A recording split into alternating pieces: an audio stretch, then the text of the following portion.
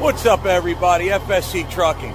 Well, we're in Pittsburgh. It's been raining a little bit, and we are over here at Sunbelt Rentals. Got our delivery made. Next stop is Middle River, Maryland. Gonna get rid of this tomorrow.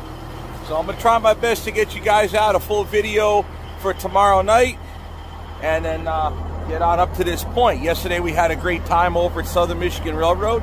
Uh, really enjoyed it. Met a lot of people. Met a lot of subscribers. That was awesome. So I wanted to touch base on that and uh, say hi and thank you. Sorry I didn't get a video out yesterday for Sunday.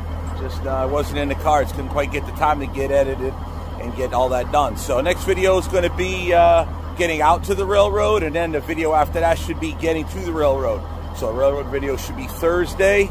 That's a meet and greet. That was a lot of fun. And then, of course, the driving vlogs of getting to there. That's Tuesday tomorrow. That's the plan anyway. Hopefully that works out. All right, guys. See you later. We got a delivery to make tomorrow morning.